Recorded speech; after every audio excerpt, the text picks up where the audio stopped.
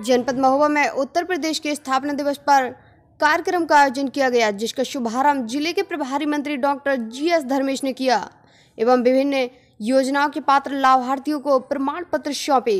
वहीं छात्राओं ने सांस्कृतिक कार्यक्रम की प्रस्तुतियाँ देकर सभी का मन मोह लिया। जी हाँ, आपको बता दें कि महोबा ज़िले के राजकीय बालिका इंटर कॉलेज में आयोजित उत्तर प्रदेश स्थापना दिवस का कार्यक्रम का शुभारंभ राज्य मंत्री व ज़िले के प्रभारी मंत्री डॉक्टर जी एस धर्मेश ने दीप प्रचलन के साथ कार्यक्रम का शुभारंभ किया।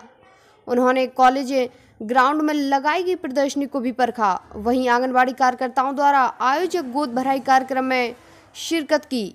विभिन्न प्रतियोगिताओं में अव्वल आने वाले छात्र छात्राओं को प्रमाण पत्र देकर सम्मानित किया गया।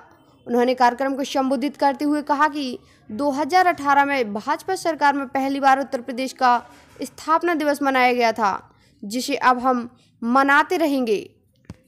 क्या प्रोग्राम मनाया जा रहा है?